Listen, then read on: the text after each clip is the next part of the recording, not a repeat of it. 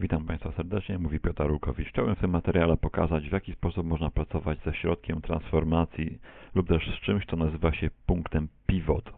Może się kojarzyć z piwem, ale to nie dokładnie o to chodzi. Więc tak, zaczynam od standardowego blendera i wiemy już ze wcześniejszych spotkań, że to biało-czerwone kółko to jest punkt wstawiania nowego obiektu. Jeżeli to kółko przeniosę w inne miejsce, nacisnę Shift A, to mogę dodać nowy obiekt, w tym właśnie miejscu, gdzie stał pivot. Pivot to jest inaczej kursor 3D. Można nim sterować. Wtedy, kiedy się użyje panelu 3D kursor, wtedy można ustawiać sobie położenie tego 3D kursora w taki sposób, żeby to było odpowiednie do potrzeb. Na początku ustawię mu 0, 0, 0. Takie są jego współrzędne. Jeżeli kliknę lewym klawiszem, to pivot się przesuwa. I teraz jest taki skrót, który pozwala szybko ten pivot przesunąć do początku układów współrzędnych, czyli automatycznie ustawić zera w tym panelu. To jest Shift C. Ten skrót powoduje, że scena jednocześnie jest przeskalowana w taki sposób, aby widać było optymalnie wszystkie elementy. Więc jeżeli będę miał gdzieś bardzo daleko jakąś kostkę, no to Shift C tą moją scenę ustawi w taki dziwny sposób troszkę. Mogę czasami się poczuć lekko zagubiony przez to. Jest to jednak wygodny skrót i można z niego często korzystać. W mojej pracy się często przydawał. Teraz tak. Oprócz tego, że istnieje taki punkt wprowadzania danych, on przydaje się również do innych rzeczy. W widoku 3D działa w taki sposób, że pojawia, pozwala wstawić nowy obiekt w miejsce, w którym sam się znajduje. Natomiast są również inne widoki, na przykład przydaje się do malowania tekstur. Wtedy, kiedy chcę sklonować fragment tekstury w inne miejsce, wtedy ten punkt pokazuje mi, które miejsce klonuje. No to jest temat bardziej zaawansowany i nie na teraz. Jest także taki panel, który nazywa się Pivot Point na pasku stanu. I teraz te narzędzia, które są tutaj, chciałem krótko omówić. Więc przede wszystkim standardowe ustawienie programu po jego uruchomieniu nazywa się Median Point. To jest coś, co jest wybrane zawsze i jest to taki jakby punkt średni pomiędzy obiektami. Na przykład tutaj mam dwa obiekty, które są klockami.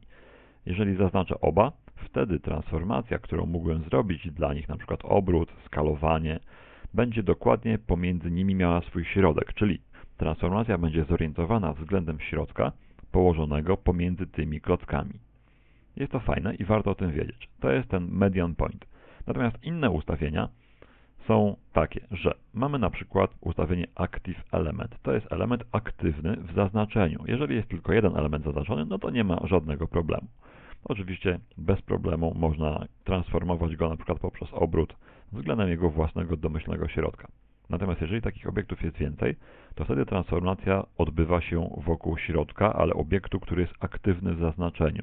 Obiekt aktywny w zaznaczeniu jest to taki obiekt, który ma troszeczkę jaśniejszą pomarańczową obwódkę.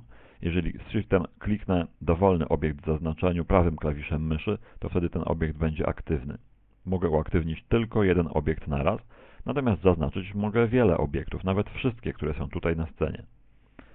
Teraz, jeżeli już mam transformację dookoła obiektu aktywnego, no to ona działa zgodnie z przewidywaniami. Mogę obracać wokół na przykład jednego z tych klocków wszystkie pozostałe, czy też niektóre pozostałe. Teraz następna rzecz to jest median point omówiony i individual origins.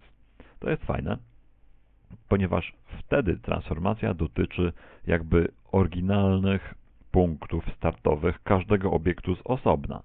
Czyli jeżeli robię rotację, to rotacja zaczyna się wykonywać wokół każdego środka, a nie wokół tylko jednego środka, tak jak to było poprzednio. A więc teraz transformuję sobie po prostu klocki obracając każdy z nich niezależnie od pozostałych. Inna jeszcze opcja to jest opcja, która nazywa się 3D kursor. I to oznacza, że po wybraniu takiej opcji środek mojej transformacji będzie zlokalizowany w tym miejscu, w którym ustawię swój kursor.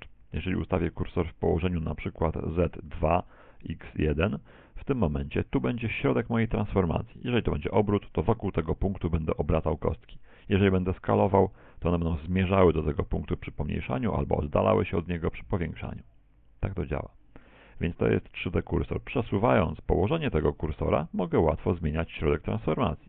Gdybym na przykład chciał obrócić wszystkie te kostki dookoła tej, która stoi tutaj i nie jest zaznaczona, to ustawiam na początku kursor wewnątrz tej kostki. Robię to zaznaczając najpierw kostkę, a później wciskając Shift S i wybierając Cursor to Selected.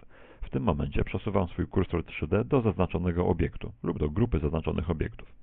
No i teraz zaznaczając te cztery kostki mogę obracać je wokół tej, która nie jest zaznaczona. To jest opcja, która nazywa się 3D Cursor. Mamy także opcję Bounding Box Center. W tym momencie Jest to opcja, która pozwala mi również określać środek transformacji, ale troszeczkę inaczej niż sąsiednia opcja median point. Otóż median point wyznacza taki środek jakby uśredniony, czyli uśrednione położenie pomiędzy obiektami. Jeżeli mam teraz zaznaczone na przykład te wszystkie cztery kostki w trybie median point i zaznaczę jeszcze jedną, która jest ponad nimi, wtedy wpływ tej kostki powyżej na położenie środka tych czterech jest niewielki, a więc kursor przesuwa się o niewielką odległość. Natomiast w trybie, który nazywa się Bounding Box Center, muszę sobie wyobrazić pewien prostokąt, który obrysowuje mi wszystkie te kostki i wtedy transformacja dotyczy środka tego wirtualnego prostokąta. Użyję teraz trybu zaznaczania, żeby taki prostokąt narysować na chwilę. On miałby mniej więcej takie rozmiary. Jego środek spodziewam się, że będzie gdzieś w tym miejscu, gdzieś tutaj. I teraz, żeby to pokazać, zaznaczmy te kostki. One są cały czas w trybie median point i wybiorę sobie teraz tryb bounding box center. Tym momencie widać, że jestem w innym punkcie niż poprzednio. I teraz obrót będzie następował wokół jakiegoś punktu w przestrzeni, który jest środkiem geometrycznym obszaru, w którym się mieszczą wszystkie te klocki, które zaznaczyłem. To jest tego typu transformacja. Jest także kilka możliwości związanych oprócz takich transformacji z tym, żeby obiekty przesunąć sobie i ustawić na przykład w jednej linii. Jedna linia rozumiem ją w ten sposób, że to jest na przykład ta czerwona linia X tutaj, wskazująca mi kierunek osi X. Żeby zrobić coś takiego, żeby wszystkie kostki stały idealnie równiusieńko w jednej osi, i niekoniecznie to musi być równo z tą osią, tylko trochę ponad nią albo poniżej niej, trzeba zrobić coś takiego, żeby zaznaczyć wszystkie klocki, a następnie je przeskalować w osi Z w ten sposób, aby zbliżyły się do siebie i zajęły swoimi środkami położenie zbliżone do osi X. Oczywiście, jak widać, nie jest to dokładnie to, o co mi chodziło, ponieważ w tym momencie skalują się również całe kostki i te całe kostki zostały bardzo mocno spłaszczone, więc to nie jest efekt, który się nadaje do zrobienia czegoś takiego. I teraz można by sobie było wyobrazić taką transformację, która transformuje jedynie środki tych klocków, ale nie ściany, które je otaczają. Jest to możliwe i żeby takie coś zadziałało, trzeba włączyć sobie guzik transformuj tylko środki. To jest manipulate center points, czyli przesuwamy tylko punkty centralne. Natomiast nie ruszamy w ogóle siatki mesza, która jest dookoła punktu centralnego. I teraz tego typu transformacja wygląda w ten sposób, że na osi Z, jeżeli robię skalowanie, no to zmierzają mi wszystkie kostki do jakiegoś tam wspólnego środka, jednocześnie nie zmieniając swojego rozmiaru. Zmienia się tylko ich wzajemne położenie. Ok? Jeżeli podczas tego skalowania kliknę lewy klawisz, to ustawię nową pozycję dla wszystkich kostek. Mogę również nacisnąć S, Z i 0, tak jak to tłumaczyłem w transformacjach GRS, później lewy klik, aby zaakceptować lub Enter. No i teraz mam wszystkie kostki ustawione idealnie równo. Nie wiem, czy są idealnie równo na osi X, ale są idealnie równo pomiędzy sobą. Więc jest to całkiem fajna rzecz. Poza tym, warto pamiętać, że w tym trybie, kiedy transformuję środki obiektu, nie działa coś takiego jak rotacja, a więc mogę przesuwać środki obiektu, obracając obiekt, natomiast sam obiekt pozostaje nieruchomy, nie obraca się. Przesuwają się tylko środki. Oczywiście siatka mysza podąża za swoim środkiem, co jest naturalne a więc mogę w ten sposób jakby organizować sobie obiekty, a jeżeli dodatkowo jeszcze włączę na przykład Active Element, to w tym, w tym momencie mogę na przykład wszystkie kostki przybliżyć do jakiegoś innego elementu, powodując, że będą między nimi bardzo małe odległości. To jest wygodny sposób na to, aby obiekty sobie jakoś porozkładać na scenie i spowodować, że będą zajmowały całkiem sensownie wyglądające odstępy. ok? Jest jeszcze jedna rzecz, którą warto wiedzieć. Otóż pokazałem już przez chwilę to menu dostępne po klawiszu Shift S. To jest menu typu Snap. Mogę wybrać teraz przy zaznaczonych kilku kostkach polecenie Selection to Grid, które powoduje, że kostka, będąca akurat właśnie zaznaczeniem, ustawi się równo w oczkach siatki, tak jak teraz.